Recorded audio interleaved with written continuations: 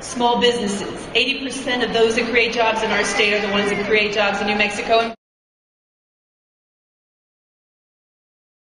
The way we create a friendly business environment in our state is to number one, make sure that we have a, an environment where regulations aren't killing jobs.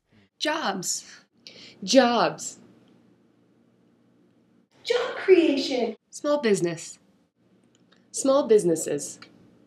Jobs. Mm-hmm. Jobs. Three serving jobs. I meant one.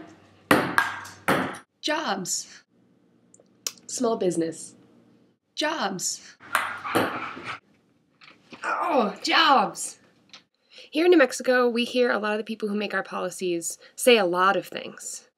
But what really matters is the actions that they take to make sure that the things that they say come true. The policies that we need right now are the ones that create good paying jobs, and the ones that help struggling small businesses, and ones that end big corporate tax giveaways. You'll hear a lot about jobs ideas coming up in the upcoming legislative session. Educate yourself on these proposals and learn to tell the difference between an idea that will really create jobs and those that will just provide more tax cuts for large corporations. Let's make sure when it comes to policies like this that the people who make the policies happen remember the things that they say to us and follow through on it, and that the things that they do impact New Mexicans positively. That's all I got for this week. If you want to go ahead and like the Clearly SK page, that would be swell. But if you're watching this on YouTube or Twitter or wherever, then just keep on keeping on. Share the video with your friends, and I will see you guys next Wednesday.